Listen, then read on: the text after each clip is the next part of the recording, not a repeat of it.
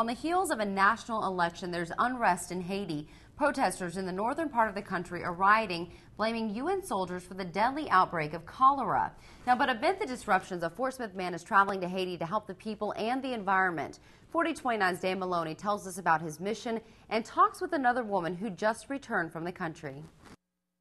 Picture your worst day ever, your worst worst day ever, and then multiply that by a thousand. Noah Steffi is returning to Haiti. He's seen the struggles firsthand before the recent earthquake and hurricane that's caused thousands of deaths. and normal and Haiti really don't go hand in hand. When he lands in Port au Prince on Tuesday, he'll be busy for an entire week.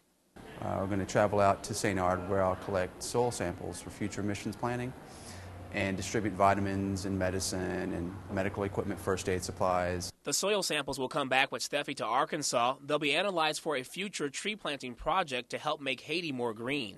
The French in 1795 took 95% of the country's trees, and there's never been a reforestation effort. Steffi shares a passion for Haiti and its people with another local woman, Dee Mathis. Uh, someone told me that Haiti gets under your skin, and that's the truth. Mathis is just back from the country. She was there providing educational and medical care for the people living in a deaf camp. She also spent some time at a school for the deaf and others living with disabilities. And despite slow and steady progress, Mathis says Haitians are still calling out for basic needs. First thing they said, education. Second thing they said, they wanted medical care, housing. And there was one gentleman, who kept raising his hand, and I said, Well, what do you need? And he said, We need church. We want a church. Mathis and Steffi realize their trips play a small role in solving a complex reality, but they're not giving up hope.